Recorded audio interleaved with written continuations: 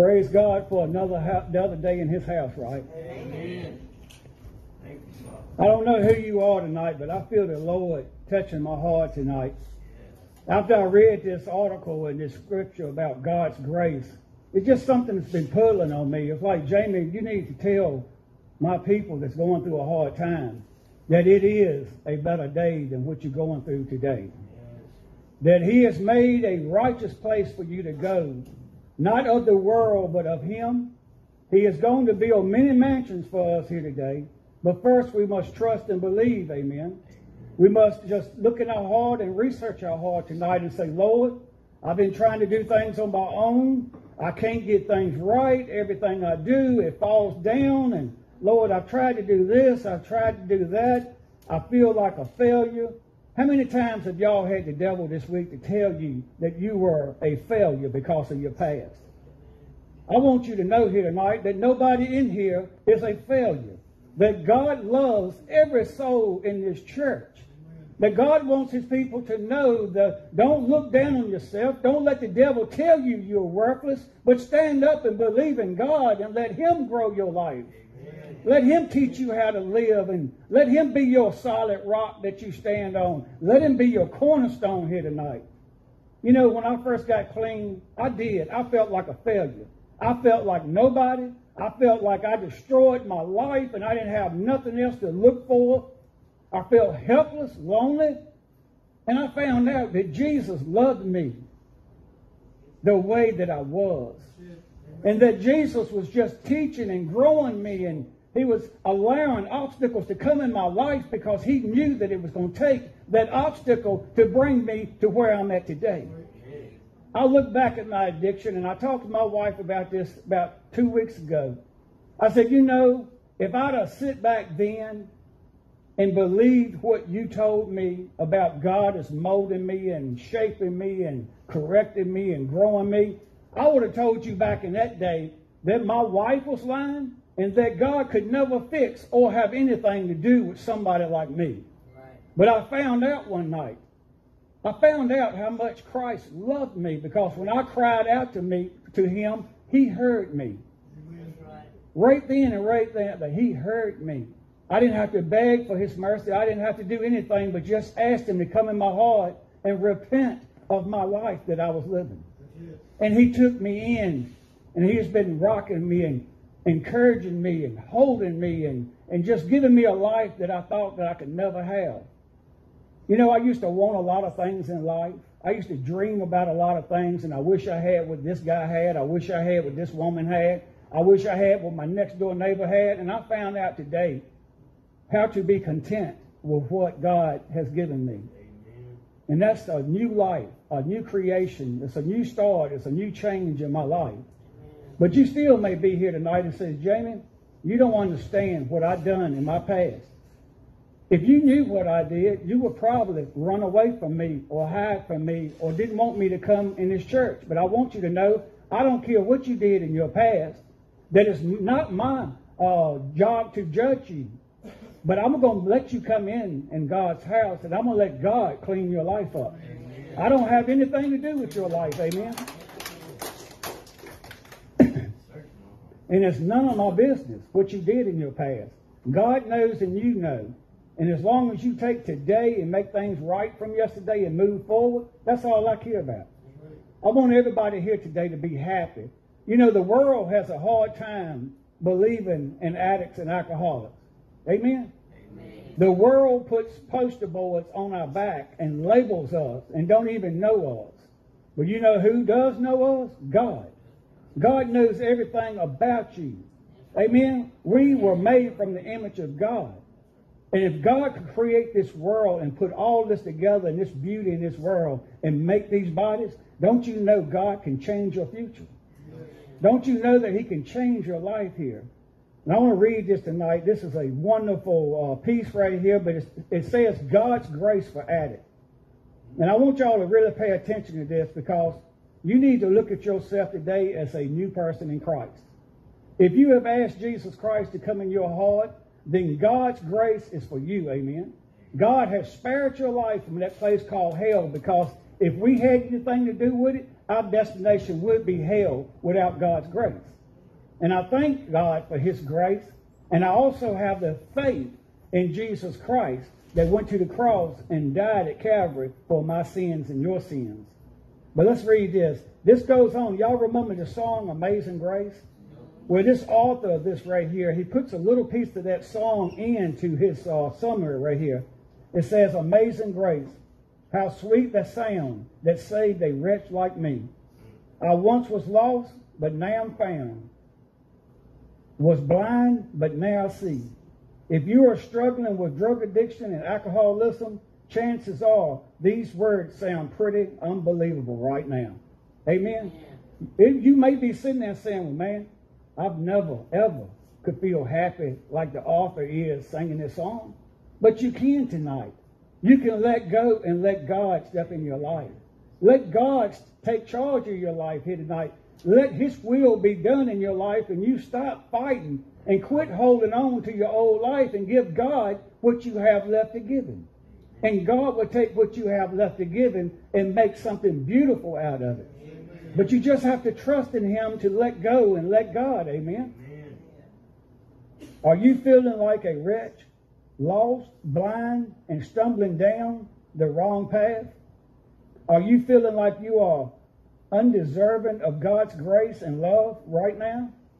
If so, you might think that you have no hope to get to the point that the author is coming to. It says right here, author of this beloved hymn is talking about fortunately for you. It's got right here, thank God that he has given you his grace. Do y'all realize today that all of us has made it to another Tuesday night meeting? We're all walking and talking tonight, and I hope everybody is excited and happy and you're enjoying your day. But if you're not, Stop and start your day over and give it to God. Amen. Let Him fight your battles. Let Him change your personality. Let Him change your eyes. Let Him change your mouth. Amen. Sometimes we still got a sword, and when we open His mouth, that sword comes out and it cuts hard. once we open His mouth and let that sword come out, it's hard to take those things back. People forgive, people forget, but it's always in the subconscious of a human being's mind. They never forget what you said to them. They might act like they forgot it, but they still think about it. But God never, He He He does not, once you commit your sins to Him and repent and give Him your old ways and ask for forgiveness, He remembers no more. Amen. See, God's a big difference than us humans on earth. We don't never forget, and we always want to get even, and we never forgive, and, and we can never set our, our emotions right. But God is the mighty forgiver. We got a God that's awesome, amen. Our God forgives all and don't see it no more. You just buried in the ground and it's gone. Jesus took the place of all those sins. And I want you to know here tonight that I'm not condoning for somebody to go out here and slip and fall and trip and hurt yourself a thousand times a week and use that grace card. Amen. But what I'm saying is we should be obedient to the Lord because of his grace, that we should live a changed life it says that we have been made a new creature, a new creation. So if we have been made a new creation, then we are not the same person that we used to be in our drug addiction, right? Amen. That God has changed us. He has changed our ways, changed our personality, changed his mouth, and changed the way you walk. He has even changed your attitude here today, where it needs to be. But you know, you might sit here today and say, God, you know, I'm too mean for God or God just don't love me because, because, because, but he does love you. I'm telling you, he loves you. Grace is God's undeserved love, and God wants you to have it. Grace is your heavenly Father looking at you, and instead of seeing your shortcomings. Amen. Don't that bless somebody here tonight that God is not looking at your past, but He is seeing you as loving you. Amen. See, our past is gone. If we would just ask for forgiveness, our past is gone. We don't need to look at the past no more worry about. We don't have to worry about if humans like the, likes us or not. Only thing we need to worry about is God. That we're pleasing God in a way that we should be. That's the only thing that matters.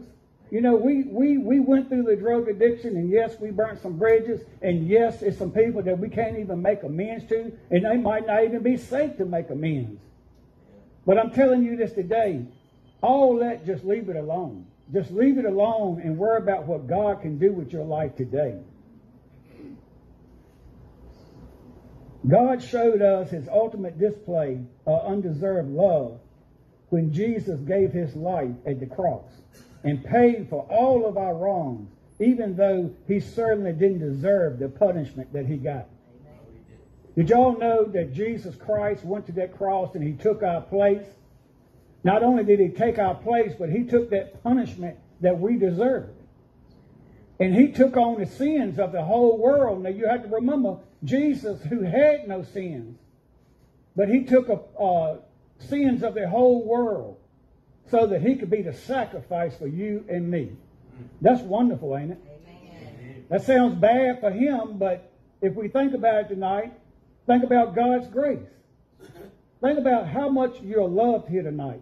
I want everybody to leave here with a different mind of what love means.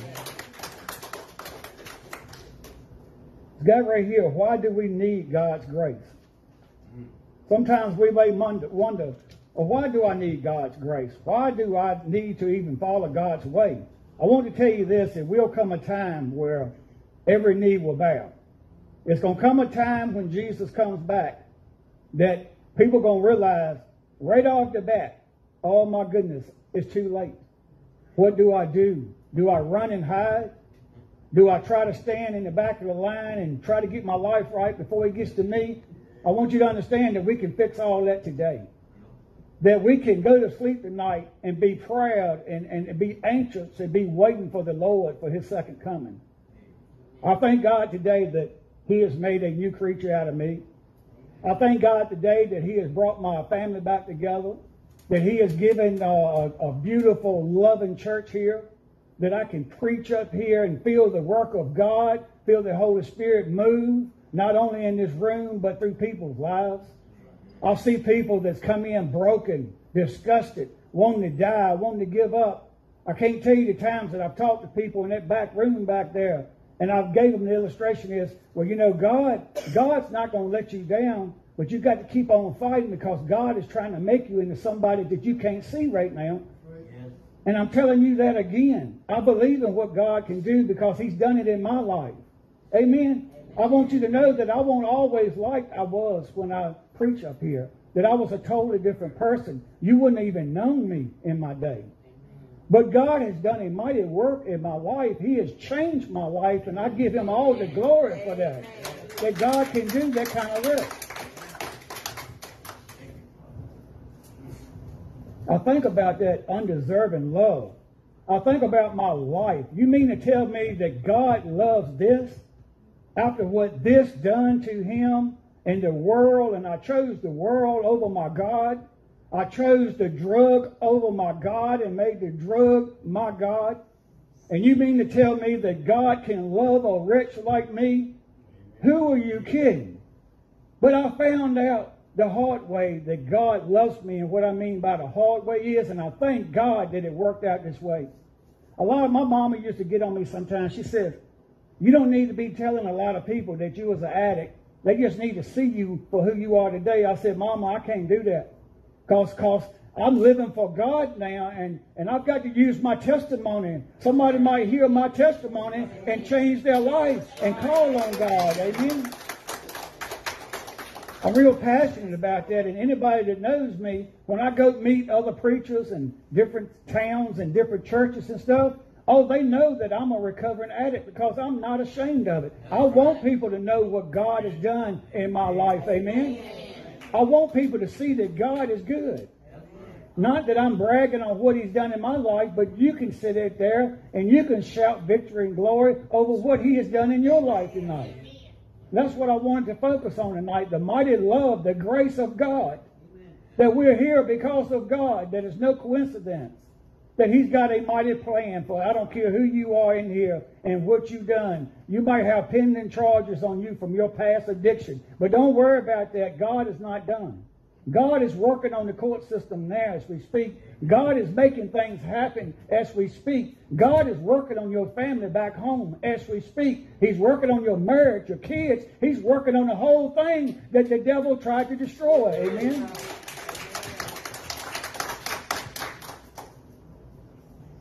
But we have to realize today, why was God's grace important? Why? Because we are all sinners. We fall short of the glory of God. We had to have a sacrifice to take our place of sin, and that uh, sacrifice was Jesus Christ. And you think about that story of uh, Abraham, how he must have thought for a second when God says, Abraham, I need you to show me how much you love me. I need you to kill your son and sacrifice your son on the altar.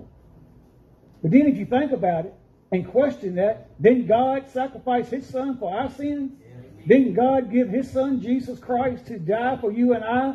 To go to the cross, to walk that street, to get beat, get whipped, to get mocked, get persecuted, and take on the whole responsibility and the sins of the world? He did that because he loves me and you. So what I'm telling you tonight, please don't focus on your past. Don't let nobody in this world tell you you ain't gonna make it. If you got people telling you because you was an addict that you ain't gonna make it, you need to find new friends. You need to go somewhere else. And I will tell you this, what I've learned in life. There's a lot of rich people. There's a lot of people in this world that don't have salvation. And they might look at us like we're nobody because we got strung out of drugs. But I'm telling you this. Anybody can be a child of God and it don't cost you nothing, amen. amen. It costs Jesus Christ the price. That's who paid your price here today. Don't you like it when you go out to dinner or you go somewhere and somebody says, It's on me.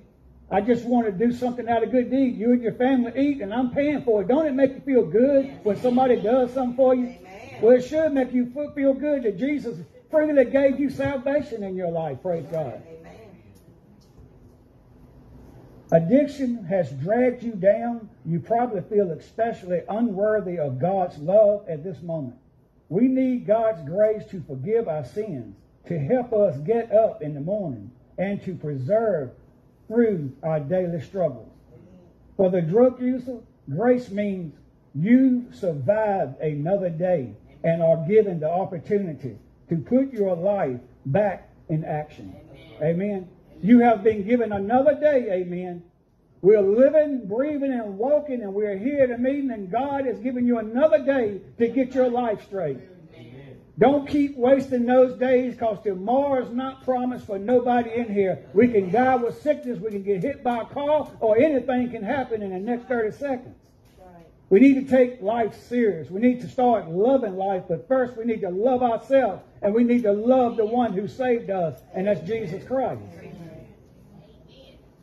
How God shows his grace. God shows his grace in many different ways. But the number one way is by forgiving our sins.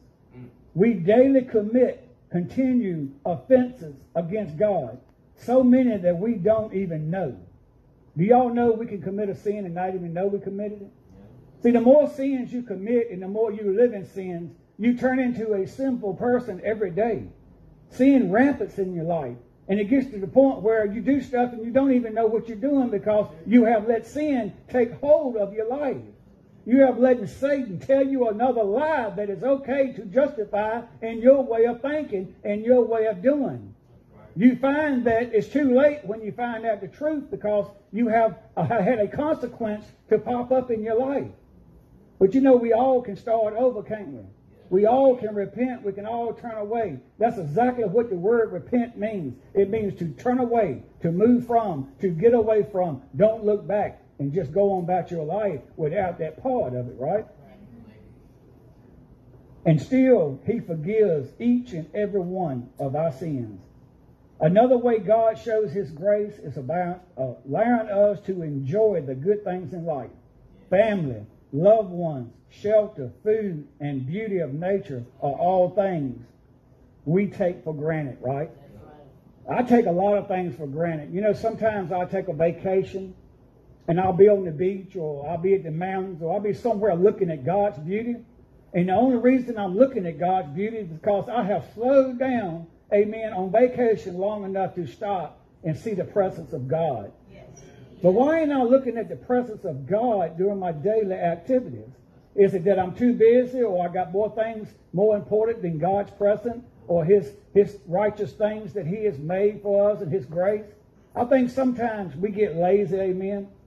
We get lazy and we assume that God just going to know what we do and we go back and get on track the next day and start over. Well, God does, but He don't know it. Let me tell you something. If you keep living in sin, one or two things going to happen. God's going to take you home or He's going to put you down on the ground in what I call the woodshed. He's going to put you in a place where you have to call on Him. Amen. And it ain't a good place, I can tell you. I've been there, and I know you've been there too. You know what I'm talking about. Has it been jail? Has it been loss of license? Has it been losing your home? Has it been losing your family? Has it been this, that? You can name anything in the blank. But I'm not saying that our God's a mean God, but our God's a just God. Amen. Our God is a righteous God. He's the oneness of us, amen. He is the awesome God that loves us and gave his son up for you and I. Surely we should give him some back, and that's obedience. That's giving him back a righteous life. To live the best as we can, to do what we can. You know, I had enough of the world. I don't want no more of the world. I've lived my share of the world and done what Jamie wanted to do. It's time I buckle down there and see what I can do for God. Amen. And let God's work be done in my life. I want to tell you, I don't make a lot of money. Me and my wife are more content now than I did when I made good money.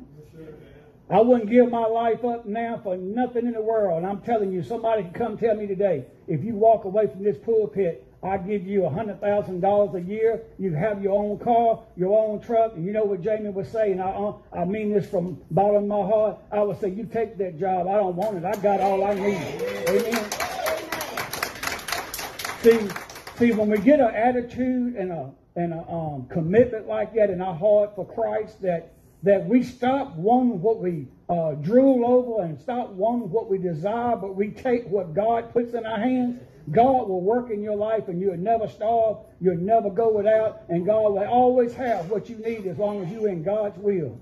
And I'm a living testimony of that. Some some months go by. I don't know how me and my wife make it, but me and my wife live good. And the point of it is, I'm not ashamed by not making billions of dollars a year. I'm just telling you how good works. God works in our household. It's some months where it's like money is being put in the bank. It's like somebody's secretly putting money in there. And I get boggled some months when I go to the bank and I look at the statement. And I'm not trying to sit here and tell you that I got everything I need. I'm just telling you what God has given me on a daily basis. And I don't credit those things to a mistake. I don't credit it to coincidence or that's luck. No, it's of God because I am working for God. I have trusted in God. And God is showing me his love. Amen. You might be here today and say, Jamie, how did I get to that point? How do I get where you are? What do I do? Only thing I can tell you tonight is trust in God. Give God your heart, not only your life, but your heart and you make him Lord of your life. And what does it mean to make him Lord of your life? It means to sacrifice everything in this world and just give your life to him. Let him be number one in your life, nothing else. And I promise you, when you do that, he will make things in your life better than you ever had. I want to stop right there with a little prayer. And no, I'm not done. I've got two sheets left to read next week. So what I'm doing is tonight, I'm going to stop. It's going to give you something to think about God's grace, and it's going to give you something to look forward next week on how much God can do for you. Amen. Amen. And why He's done it, and the whole point and reason that He done it. Amen. But the whole point of this tonight was believe in yourself, believe in God, and God will direct your ways. He will coach you when you can't walk. Y'all seen that little sign that's been around for years and years? The footprints in the sand is only there's only one set, and it says Jesus was carrying. Well, Jesus may be carrying somebody tonight because you don't know how you're walking. That's how He works. Sometimes when I get pain or I get busy in life and we're, we're doing the ministry, me and my wife looked at each other one day. It was either no, it was it was the time we went down to Scotland Neck. It was so hot all of us was tired. We were soaking wet, and we looked like we were beat. And my wife said, I don't know how we doing it. I don't know. I said, I know how. God's given us an extra measure of grace to get this work done that he wants done. He's got us down here for a reason. And we should never neglect what God can use us for and do. Just because you were on drugs last year at this time or last month, don't sit there and think that God can't use you because you were on drugs and alcohol. It's amazing a testimony that God gives you. Every time that you have messed up, you use that as a testimony of how God has lifted you back up and just raise your hands to Him and give Him all the glory and praises of your life. Let's go to the Lord.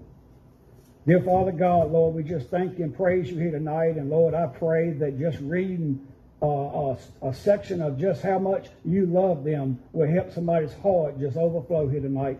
That their cup would just run over. Lord, we pray that the Holy Spirit would just guide people and get them on fire for the Word and just read that Word and get to understanding your mighty love and your grace. Lord, I thank you for the opportunity every day that I wake up to be able to stand behind this pulpit and to be able to share your Word. Lord, I look at it like it's the best thing of my life, and I, I can't wait to the time that I'm preaching, Lord. So thank you for giving me the lungs, to giving me the health and the body to be able to stand here, Lord. But thank you for allowing addiction. Thank you for allowing things in my life to wake me up, to bring me to where I'm at today. And Lord, I ask that you continue to keep that thorn in my side so that I can always be humble, that I never get conceited, that I always will never boast, but I will just stay where you got me today and enjoy your mighty grace and your love and, and mercy. Lord, we thank you tonight. We thank you for every soul you have sent in here tonight. And Lord, we ask that you will bless them and their families back home or here in Henderson. We ask that you bless the ARC house, uh, Lifeline, the women's house. We ask you to bless every soul's house tonight and that you will bind any evil thing that's trying to come in their life and destruct them and put a wall up between you and them, Lord. We pray that you will break them walls down before we ever leave tonight. But we also pray that you would go before us and build a righteous road for us to walk down. And Lord, we thank you and praise you. And we ask all these things in Jesus' name. And the church said, Amen. Amen. Thank you all for coming.